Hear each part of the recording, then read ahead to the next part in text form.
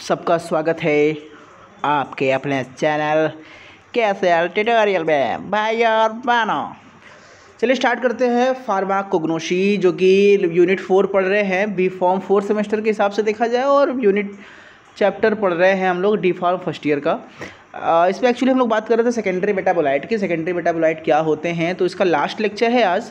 और इस last lecture में बताया सबसे इंपॉर्टेंट क्या था एल्कोलाइट ग्लाइकोसाइड मैंने इसको अलग से वीडियो बना दी है। लेक्चर थ्री टू और थ्री में। लेक्चर फोर की बात करें इसमें हम लोग आज फ्लेवोनाइट टेनिन वोलेटाइल ऑयल और रेजिन इन चार कंपोनेंट्स को एक साथ पढ़ेंगे। इनकी प्रॉपर्टीज़ यूज़ और केमिकल टेस्ट देखेंगे। तो चलिए स्टार्ट करते हैं बिना समय गवाए हुए और पहले बात करते हैं हम लोग फ्लेवोनाइट के। फ्लेवोनाइट्स क्या होते हैं? देखिए, ये ऐसे कंपाउंड है जो पॉलीफिनॉलिक्स कंपाउंड्स होते हैं, जो प्लांट पाए जाते हैं, उनको बोलते हैं फ्लेवर अब आप समझेंगे भैया ये पॉलीफिनॉलिक क्या होता है? पॉलीफिनॉलिक मतलब उसमें ढेर सारे रिंग हों, यानी जिस कंपाउंड में ढेर सारे रिंग लगे हों और सारे रिंग क्या हो फिनॉल वाले, ठीक है ना? जैसे होता है ना फिनॉल वाले रिंग ओ एच ग्रुप लग गया। तो जिसमें ढेर सारे पॉलीफिनॉलिक ग्रुप लगे हो, यानी ढेर सारे बेंजीन रिंग हो, जिसमें ओ एच ग्रुप लगा हो, उसे हम लोग क्या बोलते हैं? पॉलीफिनॉलिक कंपाउंड ठीक है? तो ये क्या होता है? प्लांट में बहुत ज़्यादा पूरी तरह से काफ़ी अधिक मात्रा में पाया जाता है और डिफरेंट डिफरेंट स्पीसीज़ के ऑर्गेन के प्लांट्स में ये पाए जाते हैं। ठीक है? बाकी बात करें फ्लेवोनाइट की, इसमें नोट्स सब पता चलेगा फ्लेवोनाइट का क्या है कि बहुत ढेर सारे ह्यूमन हेल्थ में इसका बेनिफिट्स है, क्योंकि इसका प्लांट मेटाबॉलिज्म में रोल काफ़ी है और इसके साथ साथ ये ढेर सारी दवाओं बनाने के भी काम आता है। जैसे कि antiviral anti tumour anti allergic anti platelet anti inflammatory और एंटी ऑक्सीडेंट जैसे दवाइयों के काम, बनाने के काम में फ्लेवोनाइट्स आते हैं। ठीक है? अब थोड़ा सा स्ट्रक्चर मैंने बताया क्या था देखो देखो, क्या है? ढेर सारे बेंजीन रिंग लगे हुए हैं। तो ये पॉलीफिनानिक जो स्ट्रक्चर होता है, इसका जो बेसिक स्ट्रक्चर होता है, उसमें एक डाईफेनिल प्रोपेन रिंग पाया जाता है। ध्यान समझिएगा। जितने भी पॉलीफिनॉलिक्स कंपाउंड फेलोलाइट्स होते हैं, उसमें एक कॉमन सा रिंग होता है, कौन सा? डाईफेनिल प्रोपेन डाईफेनिल प्रोपेन कब से लग रहा है, आपको दिख रहा है, दो फेनिल ग्रुप लगे हैं, और उसके साथ क्या है? प्रोपेन ये है तो इसका डाईफेनिल प्रोपेन होता है, जिसमें दो बेंजीन रिंग होते हैं रिंग ए और बी जिसको आप फिगर में देख रहे हैं। और जो तीसरे रिंग के साथ जुड़ा होता है कार्बन वाले, सी रिंग के साथ ये जुड़ा होता है फ्यूज होता है। इसके स्ट्रक्चर में क्या होता है? Basically carbon number six carbon number three carbon C six C three C six जो होता है, उसको रिफर्ड कहते हैं क्योंकि ये इसी पोजीशन से उसके साथ जुड़ रहा है। और जो बी रिंग होता है, वो पोजीशन नंबर टू से सी रिंग से जुड़ा होता है। ये इसका स्ट्रक्चर आप बना के इसको देखिएगा, ये स्ट्रक्चर कॉमन सा होता है फ्लेवेनाइट का। ठीक है? क्लासिफिकेशन की बात की जाए तो उसको क्लासीफाई किससे करते हैं उसके केमिस्ट्री के बेसिस पे जो फ्लेवेनाइड होता है, उनको छः मेजर सब ग्रुप्स में डिवाइड किया गया उनके स्ट्रक्चर के बेसिस पे। ठीक है? उनके स्ट्रक्चर के बेसिस पे छः मेजर ग्रुप्स में इनको डिवाइड किया गया है। आ, उसको हम लोग अभी देखेंगे उसमें क्या है? उसमें जो डिपेंड करता है डिग्री ऑफ़ अनसेचुरेशन पे उसके रिंग ए बी और सी के जोड़ने के हिसाब से। ठीक है? तो जो ब्रिंग बिंग आइसोफ्लेवेन है नॉन नियो फ्लेवोनाइड है फ्लेवोन्स है फ्लेवेनॉल है फ्लेवेनोन है फ्लेवेनॉल्स फ्लेवोकैटेसिन ये सब इस पर ठीक है? रिंग के बेसिस पे इस पर स्ट्रक्चर होते हैं। ठीक है? अब कुछ हम बात करते हैं। मैंने कहा कि छः भागों में बटे होते हैं। वो छः भाग कौन से हैं? ठीक है? तो आगे बात करते हैं। जैसे कि वो किन से किन से आपके बेसिकली फ्लेवोनाइड प्लांट में मिलते हैं? ठीक है? कैल्शियम से मिलते हैं आइसो आइसोफ्लेवोनाइड्स है फ्लेवेनॉल है एंथोसाइनिन्स है फ्लेवेनोन है फ्लेवोन यानी कुल ये छः कैटेगरी के फ्लेवोनाइड्स होते हैं। जो फ्रूट मटेरियल से अलग अलग प्रकार के फलों से ये हमको प्राप्त होते हैं, सब्जियों से प्राप्त होते हैं फ्लेवेनाइड ठीक है? अब बात करते हैं कि फ्लेवोनाइड जो होते हैं, उसका क्या रोल है हमारे प्लांट बॉडी में? क्या काम करता है? तो फ्लेवोनाइड जो होते हैं बेसिकली एक तरह का की केमिकल है जो कि प्लांट के अंदर मॉड्यूलेशन का काम करता है इंसेक्टिसाइड्स को काम करता है माइक्रोब्स को किल करता है दोनों, और बाकी एज ए फाइलो आपको फाइटो एलेक्सिस की तरह काम करता है, जो कि पैथोजेंस जितने भी प्लांट पे बैक्टीरिया वायरस अटैक करते हैं, ये उनको मारता है। जैसे हमारी बॉडी में इम्यून सिस्टम होता है, उसी तरह प्लांट में ये जो फ्लेवोनाइड्स होते हैं, वो उनके इम्यून सिस्टम को बनाने का काम करते हैं। ठीक है, इसके बाद की जाए, देखा जाए तो इसका जो वाइटल रोल है प्लांट में से कि प्लांट स्ट्रक्चर स्ट्रक्चरल की इंटीग्रिटी के लिए, उसके यूवी रेडिएशन को, के खिलाफ काम करने के लिए, ठीक है, और सेल इंजरी से बचाने के लिए ढेर सारे काम के लिए फ्लेवोनाइड का यूज़ होता है, ठीक है। ये क्या करता है, इसके साथ साथ ये इंड्यूस रूट नोडुलेशन भी करता है, यानी कि इस तरह के प्लांट हार्मोन की तरह एक काम भी करता है, ये स्ट्रेस प्रोडक्शन भी करता है फ्लेवोनाइड प्लांट के अंदर। ठीक है? क्या क्या फ्लेवेनाइट का यूज़ हमारे लिए है? वो तो प्लांट के लिए यूज़ हो गया। यानी कि हमारे लिए जीवन में क्या क्या उपयोग है फ्लेवेनाइट्स का? इससे कौन कौन सी दवाइयाँ या औषधियाँ बन सकती हैं? तो क्या करता है? ये कार्डियोरेस्कुलर डिज़ीज़ के रिस्क को कम करता है हार्ट प्रॉब्लम कम करता है। ब्लड प्रेशर को रिड्यूस करता है, कैसे? वैसोडाइलेशन करता है। इसके साथ साथ ये रेड फ्री रेडिकल की बीमारी को भी दूर करता है, यानी एंटी कैंसर में हम इसका यूज़ कर सकते हैं। बेस्ट एंटीऑक्सीडेंट होता है एंटी इन्फ्लामेटरी एक्टिविटी होती है इसमें। एंडोथीलियल फ़ंक्शन को इम्प्रूव करता है ब्लड प्रेशर ब्लड वेसल को मेंटेन करेगा। ये एलडीएल के लेवल को क्या करता है, हमारी बॉडी में घटाता है। ठीक है, जिससे हमारे बॉडी में हार्ट की प्रॉब्लम्स कम होंगी। प्लेटलेट एग्रीगेशन को भी ये इनविट करता है, ठीक है। एंटीवायरल की तरह होता है और एंटीबैक्टीरियल होता है ढेर सारा इसका उपयोग हमारे बॉडी में होता है, ठीक है। अब एंटीऑक्सीडेंट का रोल हमारी बॉडी में क्या है, वो आप इस पर देख सकते हैं आसानी से। किडनी फ़ंक्शन को रोकना इम्प्रूव फ़ंक्शन रिप्रोडक्शन फ़ंक्शन को इम्प्रूव करना गुड डेंटल हेल्थ को मेंटेन करना है नर्वस सिस्टम को इंप्रूव करना तो यहाँ से आप सारा देख सकते हैं कि एंटीऑक्सीडेंट का रोल बेसिकली हमारे बॉडी में क्या होता है, क्योंकि फ्लेवेनॉइड एक बहुत अच्छा एंटीऑक्सीडेंट है हमारे बॉडी के लिए। ठीक है, अब हम कैसे पहचानेंगे कैसे कौन कौन से टेस्ट करते हैं? तो फ्लेवेनॉइड के बेसिकली टेस्ट होते हैं तीन Shinoda test sodium hydroxide test और P dimethyl dimethyl amino cin amino cin aldehyde test, ठीक है? जिसको D M A C A test भी कहते हैं। तो ये सारे टेस्ट के बारे में हम जान लेते हैं, तीनों टेस्ट समझ लेते हैं क्या होता है इसको कॉपी कॉपी, क्योंकि टेस्ट ज़रूर एग्ज़ाम में याद रखना। टेस्ट एग्ज़ाम में भी आता है, गवर्नमेंट एग्ज़ाम में भी आता है जेपैड में भी आता है। तो सीरोजा टेस्ट क्या होता है? इसमें हम सबसे पहले एक्सट्रैक्ट लेंगे एथनॉलिक एक्सट्रैक्ट लेंगे किसका? ड्रग का, जो हमारा फ्लेवेनाइट है जिसको प्लांट से निकाला है, उसका एक्सट्रैक्ट हमने लिया। उसमें क्या किया? हमने कुछ पीसेस ऑफ़ किसका डाला? मैग्नीशियम के फिलिंग्स डाले टुकड़े डाल दिए। फिर हमने क्या डाला? कुछ एस डाला कंसनट्रेटेड तो हमको एक पिंक रेड कलर इंडिकेट होता है। इसका अगर दिख रहा है, इसका मतलब वो क्या है? हमारा फ्लेवेनॉइड है। ठीक है? और अगर ऑरेंज से रेड हो रहा है तो मतलब उसमें फ्लेवोन है। रेड से पिंक हो रहा है तो मतलब फ्लेवोनॉइड है। और पिंक से मेजेंटा हो रहा है, हो रहा है मतलब वो फ्लेवोनोन है, जो अलग अलग कैटेगरी होती है, उसके बेसिस पे ये समझ लीजिए। अगला होता है सोडियम हाइड्रोक्साइड इसमें क्या होता है इस बार हम जो एक्सट्रैक्ट ले रहे हैं फ्लेवोनाइड का, वो एक्वस एक्सट्रैक्ट है। उस एक्सट्रैक्ट पर क्या करेंगे, हम दस एम दस परसेंट क्या करेंगे सोडियम हाइड्रोक्साइड सोलूशन डालेंगे तो एक यूलो कलर आएगा। और जब येलो कलर आएगा, कुछ देर बाद क्या होता है, जब एस हम ऐड करेंगे तो क्या होगा, वो कलर जो होगा धीरे धीरे धीरे धीरे वो क्या होगा, एक कलर जो होता है वो इंटेंस कलर, यानी येलो कलर देने लगेगा। इससे प्रूफ होता है कि ये फ्लेवोनाइड है। तो अगला जो हमारा है डी एम एस ये टेस्ट इसमें क्या होता है कि हम एक कलरी मेट्रिक ऐसी जो कलर के बेसिस पे हम इसको समझ पाते हैं क्या होता है। इस पर जो रिंग होता है वो डी एम सी ए का, वही क्या करता है, वो कलर प्रोड्यूस करता है। ठीक है ना? ठीक है तो भैया फ्रेंड हमारा था पहला फ्लेवेनॉइड ठीक है? ये थोड़ा शॉर्ट नोट दे रहा हूँ क्योंकि एग्ज़ाम में बहुत कम आते हैं। जितना बता रहा हूँ, उतना काफ़ी आपके लिए। दूसरा होता है टैरिन ठीक है? तो टैरिन क्या है फ्रेंड ये भी एक पॉलीफिनॉलिक कंपाउंड्स होते हैं, जो प्लांट्स में पाए जाते हैं। जैसे आपने कत्था खाया है, पान अगर आप खाते होंगे तो आप कत्था जानते होंगे। तो मैं फ़िलहाल नहीं कहूँगा कि आप छोड़ो, मैं कुछ नहीं कहूँगा कि खाओ या ना खाओ, पान तुम्हारी मर्ज़ी। ठीक है? तो ये इसकी वाटर सॉल्युबल नेचर जो होता है वो हमेशा इजी होता है। एक्सट्रैक्शन के लिए आसानी से एक्सट्रैक्ट हो सकता है प्लांट से, क्योंकि इसकी वाटर सॉल्युबिलिटी बहुत अच्छी होती है। तो इसका डेफिनेशन क्या है? It is the major complex organic non nitrogenous polyphenolic substance of higher molecular weight that are use to antiseptic and is jail जिट disease like diarrhoea and use of leather industries, ठीक है ना? तो जो tannin होते हैं, उसका use leather industry बहुत होता है और इसके साथ साथ ये हमारी बॉडी में एंटीसेप्टिक की तरह भी काम करते हैं, ठीक है? प्रॉपर्टीज़ की बात करें थोड़ा सा कि टैनिन क्या होते हैं तो इनका जो कलर होता है पेल येलो से लेकर लाइट ब्राउन तक होता है, ये एमार्फस फॉर्म में होते हैं। बेसिकली प्लांट से मिलते हैं और ये कहाँ कहाँ इसके लेदर में डाइंग में फैब्रिक और मैकिंग इंक दवा, सियाही बनाने में इनका काम काफ़ी होता है। इसका जो सोलूसन होता है, वो एसिडिक नेचर का होता है, उसमें जो टेस्ट होता है, वो एस्ट्रेंजेंट होता है। इनको हम ओक के बार्ग से सुमैक से और गैल से इसको निकाल सकते हैं। टैनिल का जो टी होती होती होता है, वो एस्ट्रेंजेंसी कलर और फ्लेवर ये सब इसका फिनॉल के साथ जो होते हैं बेसिकली फिनॉल ग्लिकोसाइड्स होते हैं। फ़िज़िकल प्रॉपर्टी की बात करें कि टैनिन्स कैसे होते हैं तो टैनिन जो होते हैं वो नॉन क्रिस्टलाइज सब कंपाउंड है। दूसरा, ये वाटर में सॉल्युबल होते हैं, ठीक है? ये क्या होते हैं? ये डायलूट अल्कोहल एल्कली ग्लिसरॉल इस पर भी सॉल्युबल होते हैं। और इनके जो सोलूसन होते हैं हैवी मेटल्स के साथ, वो क्या होते हैं? जो सोलूसन होते हैं, वो एल्कोलाइड को ग्लाइकोसाइड प्रोटीन को प्रेसिपिटेट करने के लिए हेल्पफुल होते हैं। ठीक है? मेडिसिनल एंड बायोलॉजिकल इंपॉर्टेंस क्या है कि ये क्या क्या काम है इसका प्लांट में, यानी एनिमल में, हमारी बॉडी में क्या क्या यूज़ है? तो इसको नोट्स यहाँ से बना लीजिएगा। ये इन्फ्लामेशन को में काम आता है बर्न्स में काम आता है एंटी डायरियल भी होता है। ठीक है, ये कार्डियक ग्लाइकोसाइड की तरह भी हेल्प करता है तो इसके अलग अलग फ़ंक्शन है हमारी बॉडी में, इसको आप यहाँ से लिख सकते हैं। यूज़ क्या है? कहाँ कहाँ यूज़ है? डाइज बनाने में फाइबर्स में ग्लू बनाने में ऑयल बनाने में वैक्स बनाने में फ्लेवरिंग एजेंट बनाने में ड्रग्स बनाने में परफ्यूम बनाने में एंटीबायोटिक्स बनाने में, इन सब में टाइनेंस का बहुत खतरनाक, यानी बहुत बेहतरीन रोल है।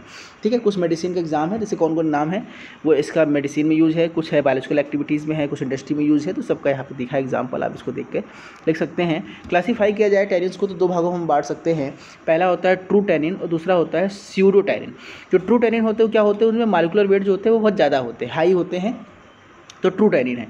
और जो सीडो टैनिन उनका मालिकुलर वेट जो होता है, वो कम होता है, जैसे गैलिक एसिड और फ्लेवर और जो ट्रू टैनिन्स होते हैं, उसको हम फिर से बांट सकते हैं तीन भागों में। एक हाइड्रोलाइजेबल टैनिन दूसरा कंडेंस टैनिन तीसरा कॉम्प्लेक्स टैनिस ठीक है? आपस में जब वो जुड़े हैं हाइड्रोलिसिस द्वारा से बोलते हैं हाइड्रोलाइजेबल टैनिन आपस में रिंग्स कई फ्यूज होती है तो कंडेंस्ड और ढेर सारे कॉम्प्लेक्स बना रहे हैं तो कॉम्प्लेक्स टैनिन अब हाइड्रोलाइजेबल होता है दो प्रकार के गैलेटेनियंस और इलेगेटियंस ठीक है ना? एक होता है गैली टैनिन्स और एक होता है इलेगी टैनिन्स ठीक है? तो इसको ध्यान से देख लीजिएगा, ये क्लासिफिकेशन ज़रूर याद कर लीजिएगा। अगर एग्ज़ाम में पूछता है क्लासिफिकेशन तो इसको बना दीजिएगा, काफ़ी रहेगा। ठीक है? अब हाइड्रोलाइजेबल टैनिन्स क्या होते हैं? इसको समझ लीजिए कि ऐसे टैनिन जिसको आसानी से एसिड या एंजाइम के साथ रिएक्शन करने पर वो हाइड्रोलाइज हो जाए। और जब वो हाइड्रोलाइज हो जाएगा तो दो तरह का कंपाउंड देगा। या तो वो गैलिक एसिड देगा, या तो वो इलागिक एसिड देगा। तो अगर वो गैलिक एसिड दे रहा है तो गैलिक टैनिन है और इलाइगिक एसिड दे रहा है तो वो इलागिक टैनिन है। ठीक है? उसके बाद अगर उसको हम ड्राई करेंगे डिस्टिलेशन करने के बाद तो वो पायरोगाइलॉल में कन्वर्ट हो जाता है। और उसके बाद क्या होता है? वो फेरिक क्लोराइड सोल्यूशन के साथ नीला कलर देता है ब्लू कलर देता है। ये इसकी पहचान है। ठीक है? अब कंडेंस टैनिन की बात करें तो उसमें क्या होता है? ये नॉन हाइड्रोलाइजेबल होते हैं। मतलब ये हाइड्रोलिसिस नहीं होती है, इनको अगर हम एसिड या हाइड्रोलिसिस कराए एंजाइम के साथ, ये हाइड्रोलिसिस नहीं देते हैं, यानी किसी भी मॉलिक्यूल में ये नहीं टूटते। जैसे कैटेचिन है फ्लेवन थ्री ऑल है flavan three four di ol है, ठीक है? और क्या होता है, इसको एंजाइम को ट्रीटमेंट करने के बाद अगर ये इसको हम सुखाते हैं ड्राई करते हैं तो ये रेड कलर के एक्सट्रैक्ट के फॉर्म में आता है, जिसको बोलते हैं फ्लेबोफिनस ठीक है? फ्लेबोफिन्स कहते हैं, ध्यान दीजिएगा। बाकी इसका एग्ज़ाम्पल दिया है कैटेकॉल आप यहाँ से इसको देख सकते हैं। ठीक है सीरोटेनिन्स क्या होता है कि ये एक तरह से टैनिन्स बेसिकली होते नहीं हैं। ये ग्रुप ऑफ़ टैनिन है जो कि जिसमें हम ये किसी भी ये मतलब गोल्ड बेडेड स्किन टेस्ट को पास नहीं करते। मतलब आप सोचो, दो जो टैनिन्स होते हैं ना, वो स्किन के साथ जब भी उसको रगड़ो ना तो स्किन का कलर लाल हो जाता है। तो उससे हम पहचानते हैं कि वो कहते हैं, उसको बोलते हैं गोल्ड बीटर्स स्किन टेस्ट लेकिन ये जो टेनिन होते हैं, ये ये वाले टेस्ट नहीं देते हैं। लेकिन फिर भी इनके अंदर प्रॉपर्टीज़ टैनिन वाली होती है, इसलिए इसको हम टैनिन मानते हैं। ये हमारे होते हैं सीडो टैनिन्स ठीक है? आइडेंटिफिकेशन टेस्ट बताया ना जिलेटिन टेस्ट होता है गोल्ड बिटर्स स्किन टेस्ट होता है और फेनाजोन टेस्ट होता है। तो ये तीन प्रकार के टेस्ट होते हैं, तीनों टेस्ट को याद रखिएगा। और भी टेस्ट हैं, जैसे मैच स्टिक टेस्ट है और टेस्ट विथ फेरिक क्लोराइड है, पाँच टेस्ट है तो पाँचों टेस्ट में हम बात करेंगे। पहला है जिलेटिन टेस्ट ठीक है, इसमें क्या है two solution of gelatin equal solution of one percent gelatin and ten percent sodium chloride ठीक है ना? क्या करेंगे, कोई भी हम जो सैंपल है जिलेटिन का, उसमें एक, वो हमारा जो टैनिन है, उसमें एक परसेंट डालेंगे जिलेटिन का सोल्यूशन और दस परसेंट डालेंगे हम सोडियम क्लोराइड उसको डालने के बाद क्या होगा, उसको जब मिक्स करेंगे तो एक सफ़ेद रंग का झाग तरह का वाइफ बफ कलर हमको प्रेसिपिटेट मिलेगा। अगर वो मिल रहा है, इसका मतलब वो जिलेटिन टेस्ट पास है, ये हमारा कंपाउंड टैनिन है। दूसरा है गोल्ड प्लेट बताया ना, ये स्किन पे करते हैं स्किन के ऊपर।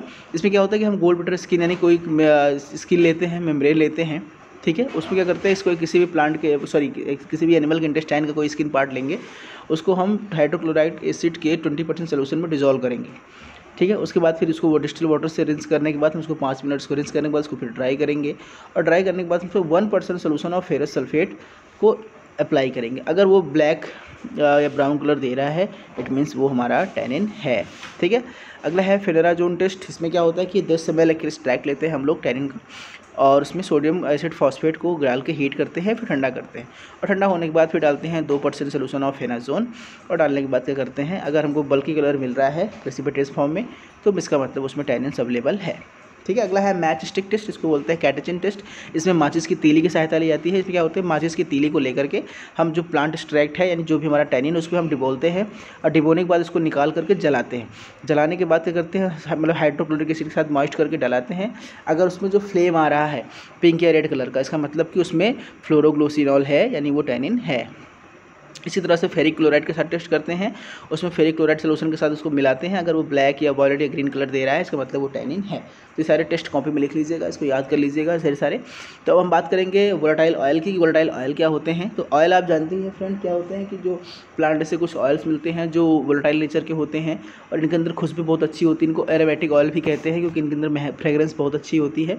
ठीक है? तो ये evaporate when expose to the air ordinary temperature so they are called volatile क्योंकि ये इतने अच्छे होते हैं कि ये बिना गर्म किए ही नॉर्मल टेम्परेचर में इवेपरेट हो जाते हैं। इसीलिए इनको वोलेटाइल ऑयल की संज्ञा दी जाती है, कहा जाता है। ठीक है? या इनको एथरल ऑयल्स भी कहते हैं या इसेंशियल ऑयल भी कहा जाता है। ठीक है? इनको इसेंशियल ऑयल इसलिए कहते हैं क्योंकि ये क्या करते हैं? इस ये इसेंस यानी इस पर महक निकलती है। इसेंशियल ऑयल आवश्यक वाली नहीं है। इसेंस मतलब महक होती है इसलिए इसको इसेंशियल ऑयल भी कहा जाता है। ठीक है आगे बात करें कि क्या क्या इसके सिग्निफिकेंस है आ, क्या क्या का फ़ायदा है? तो ये ढेर सारे मसालों के तौर पे यूज़ किया जाता है। आप देखते हैं कि हम लोग जब खाना बनाते हैं तो उसमें ढेर सारी से दालचीनी हो गई धनिया हो गया और कई चीज़ें डालते हैं। जो सारी चीज़ें क्या होती हैं एज ए मसाले की तरह यूज़ होती है। दूसरा फ्लेवरिंग एजेंट की तरफ़ यूज़ होता है, यानी कि यानी कि ये फ्लेवर्स मतलब जिस खाने में, जिसमें हम ऐड करेंगे, उसमें फ्लेवर मिलेगा अच्छा। ठीक है कार्बोनेटिव की तरह होता है, यानी मसालों में कि गैस डाइजेशन के लिए भी हेल्प होता है। इसके साथ साथ ये परफ्यूम सोप और कॉस्मेटिक बनाने में भी इसका यूज़ काफ़ी अच्छे से होता है। ठीक है प्लांट्स में इसका क्या यूज़ है? बेसिकली प्लांट में डिसएग्रीवेबल टेस्ट और ऑर्डर होने के कारण क्या करता है, ये जो दूसरे एनिमल्स होते हैं, जो चरते हैं घासों को, अगर इनकी महक थोड़ी सी अलग हो जाती है इसके कारण, जिससे जो जंतु हैं, उसको चरते नहीं है बच जाता है, इसकी जीवन ज़िंदगी ही बच जाती है, और इसके जो फ्लावर होते हैं, ये इंसेक्ट को अट्रैक्ट करते हैं, ताकि पॉलिनेशन हो सके इतनी महक से। ठीक है? प्रॉपर्टीज़ क्या है? कि क्या नेचर होता है? कैरेक्टरिस्टिक ऑर्डर होता है मतलब इसका जो महक है, वो अलग अलग होती है, सबकी अलग अलग होती है, सब अलग अलग प्लांट्स की जो ऑयल होती है, उनका महक अलग होती है। जैसे क्लो ऑयल अलग महकता है यूकेलिप्टस ऑयल अलग महकता है लेमन ग्रास ऑयल अलग महकता है। रिफ्रेक्टिव इंडेक्स काफ़ी इनका हाई होता है ऑप्टिकली एक्टिव होते हैं, ये वाटर में इमिसिबल क्योंकि ऑयल है तो वाटर में इमिसिबल होते हैं। इसके साथ साथ क्या होता है? इनका सलूजे ईथर में एल्कोहल में और ऑर्गेनिक सॉल्वेंट में डसॉल्यूबल होते हैं। ठीक है? क्लासिफिकेशन कैसे कर सकते देखिए उसमें डिपेंड करता है कि जो वोल्टाइल ऑयल है, उसके अंदर केमिकल कंपाउंड कौन सा है, उसके केमिकल नेचर के बेसिस पे इसको हम क्लासीफाई कर सकते हैं। जैसे कि hydrocarbon volatile oil alcoholic volatile oil aldehyde volatile oil ketone volatile oil phenolic volatile oil phenolic ether volatile oil oxide volatile oils ester volatile oil and miscellaneous देखिए, वो डिपेंड कर रहा है कि वोलेटाइल ऑयल में नेचर कैसा है, उसमें कौन सी केमिस्ट्री है। ठीक है? अभी हम लोग लास्ट टॉपिक पढ़ने जा रहे हैं रेजिन रेजिन आप जानते हैं फ्रेंड आपने गोंद का नाम सुना होगा, जब घरों में सिठौरा बनता है, बच्चा होता है तो उसमें गोंद, सिठौरा बनता है ना? तो गोंद क्या होता है कि जो प्लांट से एक लिक्विड निकलता है थोड़ा सा विस्कस होता है, जो सूख जाता है तो चिपचिपा हो जाता है, उसी को गोंद कहते हैं, अंग्रेज़ी में रेजिन कहते हैं, ठीक है? जो रेजिन वर्ड वो फ्रेंच भाषा के रेजिन शब्द से आया और ग्रीक भाषा के रेटिन से आया और लैटिन में इसको रेजिन कहते हैं। ठीक है, जो इसमें रेजिन्स होते हैं, वो इसकी जो बहुत लंबी कहानी है कि कैसे बना, कहाँ से आया और इसको बाद थियोफ्रास्टस ने इसको स्टडी किया था, इसको उन्होंने प्लिनी द एल्डर कहा था। ठीक है, डेफिनेशन की बात करें तो रीजन जो होते हैं वो सॉलिड या हाईली विस्कस ऑर्गेनिक सब्सटेंस होते हैं, जो कि किसी भी प्लांट के एग्जिट्स मतलब उसके एग्जिजरस पार्ट मतलब कि अगर प्लांट को इन सीज़न दीजिए, काव दीजिए, कट दीजिए तो वहाँ से जो लिक्विड निकल रहा है, वो उसका एक्स्यूट्स कहा जाता है। ठीक है, इसको सिनोनियम रोजिन भी कहते हैं। प्रॉपर्टीज़ की बात कर लेते हैं फ़िज़िकल केमिकल सॉलिबिलिटी की। तो फ़िज़िकल प्रॉपर्टी क्या होता है? ये हार्ड होते हैं, कड़े होते हैं ट्रांसपेरेंट भी होते हैं। ट्रांसल्यूशन मतलब होता है कि जिससे हम आर पार ना देख सके, लेकिन वो ट्रांसपेरेंट जैसा होता है। ठीक है, और गर्म करते हैं तो ये थोड़ा सा सॉफ्ट हो जाते हैं बिल्ट हो जाते हैं। ठीक है केमिकल प्रॉपर्टी क्या है? ये जो कॉम्प्लेक्स ऑफ़ मिक्सचर होता है एसिड जो होते हैं, ये एसिड के साथ रेजिन एल्कोहल के साथ रेजिन के साथ ये कॉम्प्लेक्स प्रोडक्ट बनाते हैं। और सॉलिबिलिटी क्या है? ये वाटर में इंसॉल्बल होते हैं, लेकिन पेट्रोलियम स्प्रिट और एल्कोहल के साथ क्लोरोफॉर्म ईथर के साथ ये सॉल्युबल होते हैं। ठीक है? कहाँ कहाँ पाए जाते हैं? बेसिकली ये जो रेजिन अलग अलग सेल्स में पाया जाता है जिंजर जिंजिबर ऑफिसिनियल में सेल में मिलता है। और साइजिनस जो डक्स होते हैं, उसमें मिलता है। ग्लैंडुलर हेयर्स में मिलता है। अलग अलग पार्ट से प्लांट से ये मिलता है। क्लासीफाई किया जाएगा रेजिन को तो दो भागों में हम बांट सकते हैं। एक होता है टैक्सोनॉमिकल क्लासिफिकेशन के हिसाब से और दूसरा केमिकल क्लासिफिकेशन यानी कि दो अलग अलग भागों से on the basis of taxonomy और on the basis of chemical classification के हिसाब से हम दो भागों में रेजिन को क्लासीफाई कर सकते हैं दो प्रकार से। पहला है टैक्सोनॉमिकल क्लासिफिकेशन जैसे उसमें है कॉनीफेरस रेजिन है बारबिडेसी रेजिन है और जाइगोफिलेसी रेजिन है। ठीक है? उसका एग्ज़ाम्पल दिया है सामने पोलीफेरस रेजिन का एग्जांपल है कोलोफोनी बारबिडेसी का एग्ज़ाम्पल है पोडोफाइलम और जाइगोफिलेसी का एग्ज़ाम्पल है गुएसियो ठीक है? तो ये याद कर लीजिएगा। और केमिकल के बेसिस पे उसमें कौन सा कंपाउंड है, उसके बेसिस पे देखा जाए तो रेजिन एसिड होता है रेजिन ईस्टर होता है। मतलब उसमें क्या केमिस्ट्री है? रेजिन एल्कोहल होते हैं रेजिन फिनॉल्स होते हैं ग्लूकोज रेजिन होते हैं और रेजिन्स होते हैं। ये ठीक है? ये अलग अलग केमिस्ट्री के बेसिस पे उसको हम डिवाइड कर सकते हैं। कुछ एग्ज़ाम्पल दिए हैं आपके केमिकल रेजिन के। वो अब यहाँ पे एग्ज़ाम्पल देख सकते हैं। रेजिन एसिड का एग्ज़ाम्पल क्या है? ईस्टर का क्या है? एल्कोहल का फिनॉल क्या है? इस सब आगे आपको डिटेल में पढ़ना लेकिन आप यहाँ से एग्ज़ाम्पल इसको कॉपी में ज़रूर लिख लीजिएगा। ठीक है? उसी तरह से ये उसके रेजिन का इसेंशियल ऑयल के, गम के साथ, गम रेजिन का एग्ज़ाम्पल ओलियो रेजिन ठीक है, ओलियो गम रेजिन। यानी जो रेजिन है, उसमें कुछ गम है, सिर्फ़ चिपकने का है तो गम रेजिन। अगर उसमें ऑयल मिक्स है तो उसको ओलियो रेजिन और ऑयल गम दोनों है तो ओलियो गम रेजिन। तीन भागों में इसको हम बांट सकते हैं और चौथा होता है बालसम रेजिन। ठीक है फ्रेंड तो ये था कुछ आसान सा टॉपिक फार्माकोग्नोसी का यूनिट नंबर फोर भी फॉर्म फोर सेमेस्टर का ख़त्म हो गया। बहुत बहुत मुबारक हो आपको। बस एक यूनिट बचा है यूनिट फिफ्थ वो भी मैं देखता हूँ कैसा है, क्या है। उसको भी बहुत जल्दी ख़त्म कर दूँगा। तो कोग्नोसी से कहानी ख़त्म हो जाएगी और हम लोग लगभग ख़त्म कर चुके हैं। और ये सेमेस्टर बहुत बड़ा है, बहुत लॉन्ग लेंदी है और सब्जेक्ट्स बहुत लंबे लंबे हैं तो मेहनत आप कंटिन्यू रखिए, आप बिल्कुल ढीले मत पड़िए। लॉकडाउन का पूरा फ़ायदा उठाइए और दिन रात पढ़ाई करिए, बाकी मैं आपके साथ हूँ, ठीक है? चलता हूँ, खुदा हाफिज़।